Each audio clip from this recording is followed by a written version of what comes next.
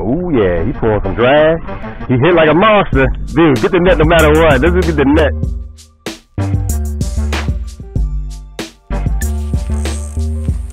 Something's on. Fish on. Fish on.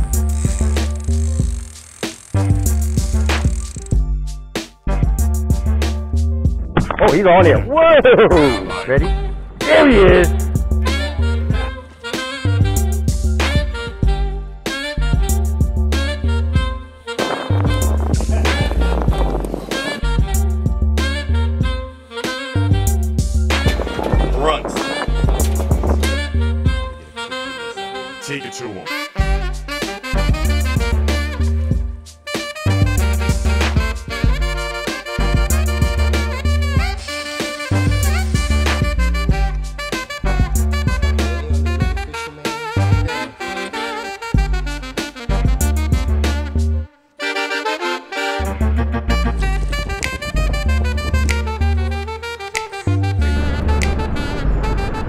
Look at all of them right there.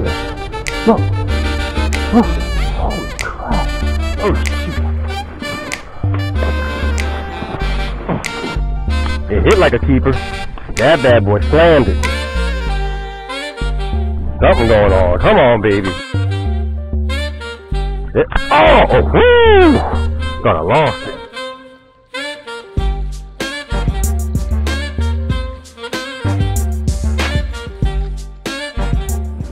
So today on the Dreaded Fisherman, we are going to do a catch and cook fishing trip out of Clearwater, Florida. It is a bottom fishing trip.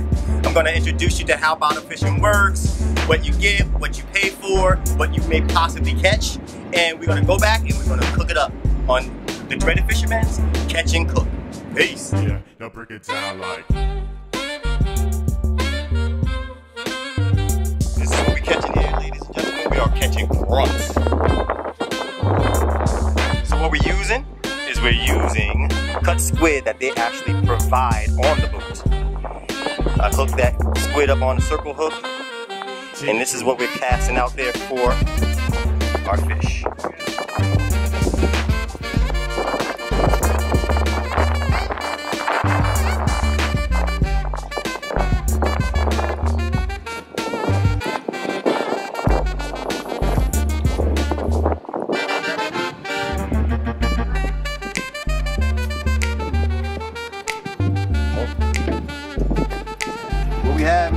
A lizard fish.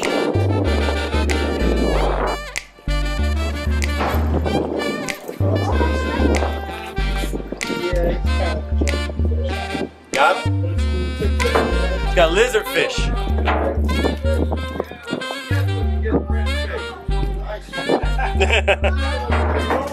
Look at that.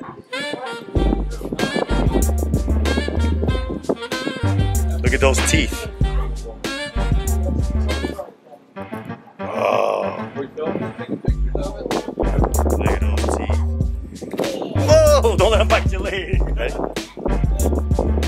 Sometimes you never know what's going to come up from the bottom of the ocean.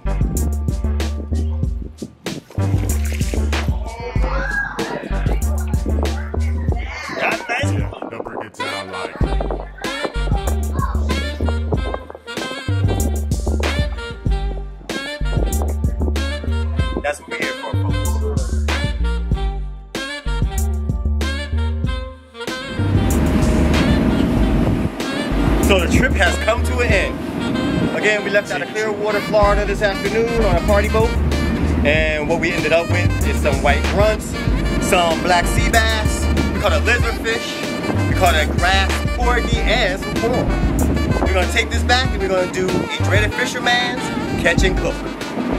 Peace. So these are two of the white grunts we caught on the fishing trip out of Clearwater, Florida. And we're going to use these white grunts for today's Dreaded Fisherman's Catch and Cook. So today, ladies and gentlemen, we are going to make a white grunt taco salad. Basically, we're going to take those beautiful white grunts we caught on the Clearwater fishing trip. We're going to season them up with some nice smoky paprika, chipotle seasoning. We are going to dress them up with some fresh basil that came out of my potted garden. We're going to also use some hot peppers that came out of my potted garden with some lime, red onions, and fresh garlic. After we cook that up on the grill, we are going to put that over our salad and top it off with Barbara's Kitchen's mango salsa. All right, let's do this, people. So what I did was I scaled and I gutted the white grunt, getting them ready for the seasoning. And what we're gonna do first is we're gonna get some of that chipotle smoky seasoning in the cavity of the fish. And then make sure it gets a good amount inside the cavity. And also now what I did was I created this nice little stuffing. This is just a red onion, some fresh garlic, lime, and some of those hot peppers. And we're gonna also stick that into the cavity of the fish.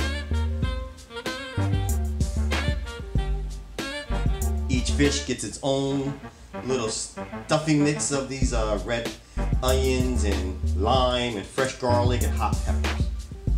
And get that right up inside the cavity of that fish. We are going to grill and smoke it in this pan that I have right here.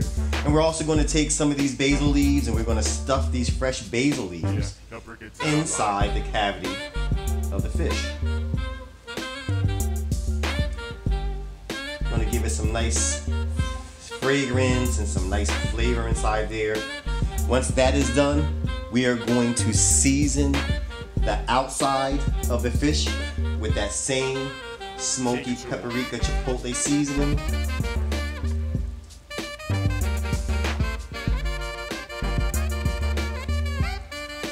And a little bit of pink Himalayan sea salt.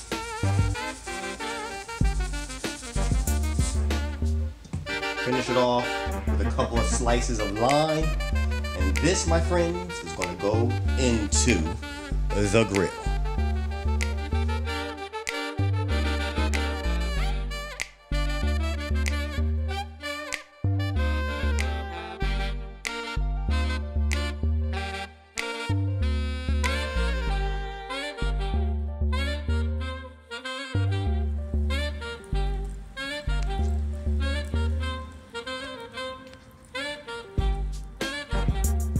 Time to get this bad boy on the grill and let's smoke it up.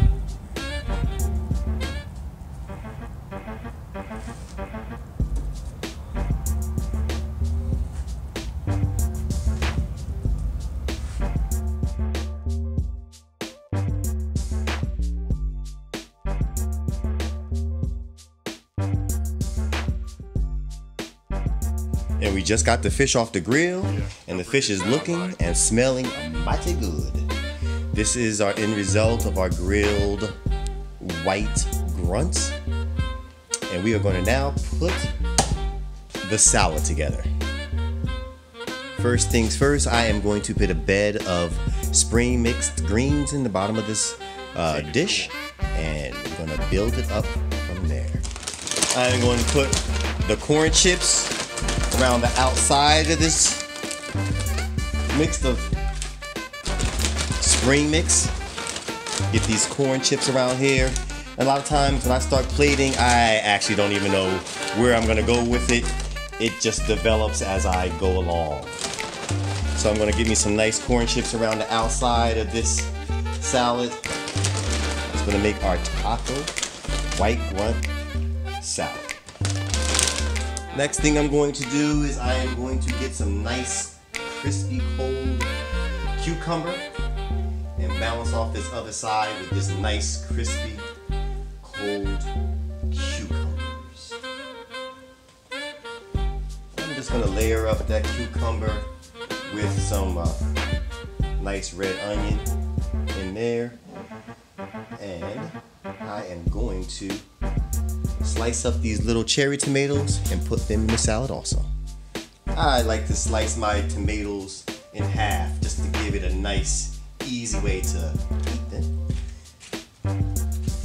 Yeah, sprinkle those tomatoes in there.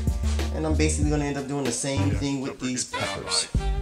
And these are actually just organic sweet peppers in that salad. It's coming together nice. Now just adding a little bit of celery to it for that extra crunch. And of course you can add whatever you like or whatever you don't like. You don't have to add to the salad. But let's continue on.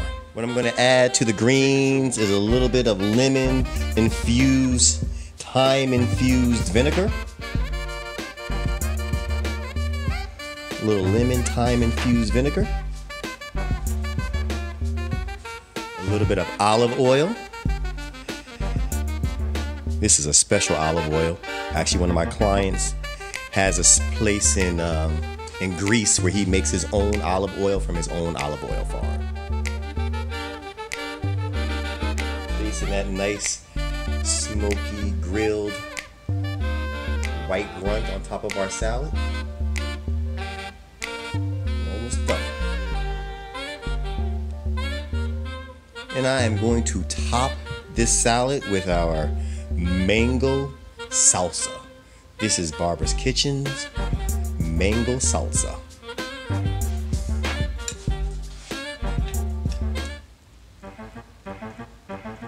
Nice heap of that on top. This is one of the most amazing salsas you would ever taste. And let's top that bad boy off with a little bit of sour cream. Ah, a little bit of sour cream on top of that. And we're just about done with our beautiful white grunt salad. We're just gonna sprinkle a little bit of cilantro on top of that. And there you have it, my friends. The dreaded fisherman's white grunt taco salad. And remember, I am just a fisherman. I am not a chef. Let's dig into this plate and see what we got.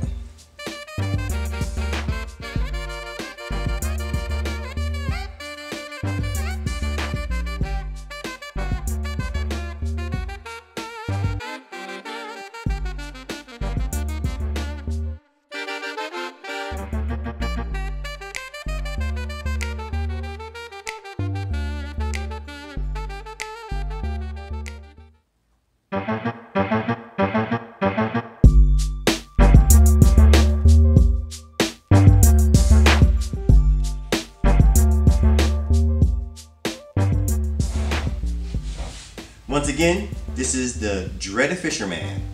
We caught this white grunt on a fishing trip out of Clearwater, Florida. Caught this grunt yesterday, fresh as best. So we caught this fish yesterday. We went um and scaled it. We gutted it. I filled it in the cavity with some red onion, some lime, some fresh garlic, some hot peppers that came from my little herb garden. Seasoned it with some smoky paprika chipotle seasoning. We topped it on top of a bed of greens with some cucumbers, some cherry tomatoes, some sweet peppers, and some nice corn chips. Topped it with mango salsa. That's Barbara's Kitchen's mango salsa. Has a little bit of spice and kick to it, and a little bit of sour cream with cilantro on top. Let's dig in and see what we have. This white grunt uh, is nice and smoky. Uh, the flesh is a nice texture to it. Mmm. That Barbara Kitchen mango tastes delicious. We're gonna add a little bit of this fish to the uh, to the corn chip in here.